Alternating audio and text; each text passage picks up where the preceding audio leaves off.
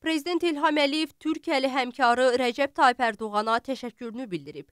Bu barədə dövlət başçısı sosial şəbəkədə yazıb. Əziz qardaşım, BMT Baş Assambleyasında çıxışınız zamanı Azərbaycana verdiyiniz dəstəyə görə təşəkkür edirəm.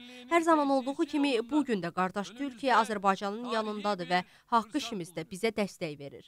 Azərbaycan və Türkiyə xoş günlərdə də, kədərli anlarda da daim bir yerdədirlər. Beynəlxalq təşkilatlarda da həmişə bir-birimizin haqlı mövqeyini müdafiə edirik. Şuşa bəyannaməsi ilə münasibətlərimiz strateji müttəfiqlik səviyyəsinə yüksəlib. Siz də, mən də Azərbaycan xalqının ümumilli lideri Heydər Əliyevin qardaşlığımızın rəmzi olan bir millət, iki dövlət kəlamını daim yada salaraq Azərbaycan və Türkiyə arasında olan sarsılmaz birliyi yeni zirvələrə daşıyırıq, o qeyd edib.